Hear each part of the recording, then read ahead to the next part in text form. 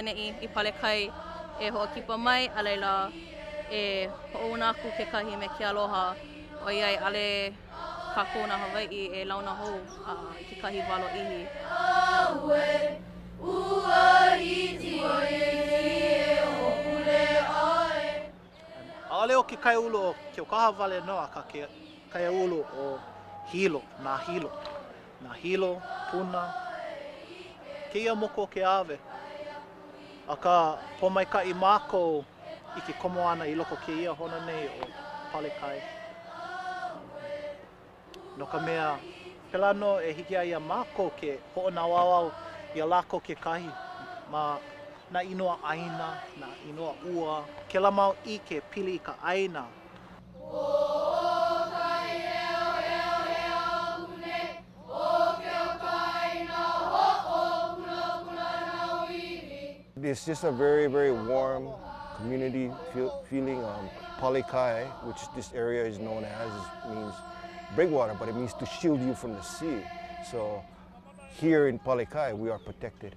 We are nurtured by this community and we are welcomed here by them.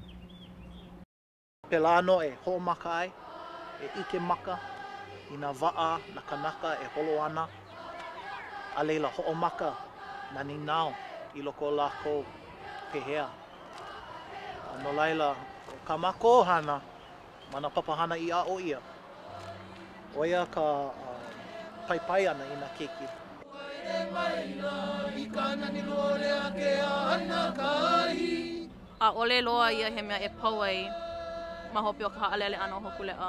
Ka manaʻolana o mākou, e hahai ana mākou i ka ke kaʻahele ʻana o Hōkūleʻa lāua ʻo Hikianalia a puni ka honua.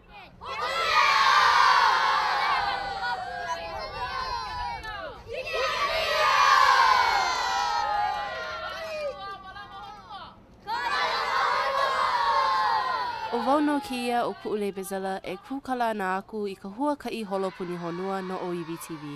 No ka ʻikepili hou aku, e eʻe aku ma Hōkūleʻa kiko sē ʻō mū. Aloha!